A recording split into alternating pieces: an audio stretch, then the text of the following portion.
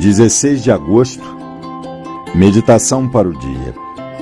Descanse até que a vida, a vida eterna, correndo por suas veias, coração e mente, lhe ordene que entre em atividade.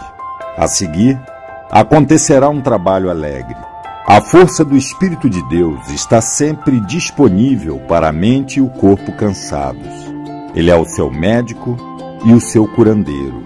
Confie nesses momentos tranquilos de comunhão com Deus para ter o descanso, a paz e a cura.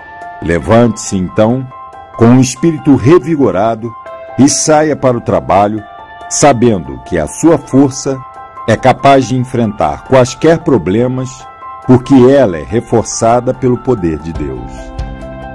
Oração para o dia. Rogo para que a paz que eu encontrei me faça eficiente Rogo para que eu seja aliviado de toda a tensão durante este dia.